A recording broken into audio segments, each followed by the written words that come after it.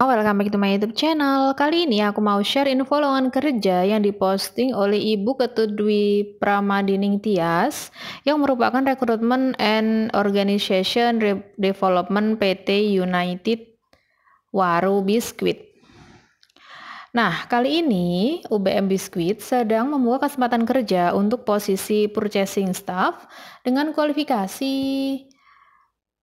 maksimal usia 30 tahun, pendidikan sarjana, memiliki pengalaman minimal satu tahun di bagian purchasing, serta mampu melakukan pembelian atas permintaan barang dari seluruh departemen sesuai kebutuhan dan prosedur, serta memiliki kemampuan komunikasi dan negosi negosiasi yang baik, dan memiliki kemampuan Microsoft Office yang baik.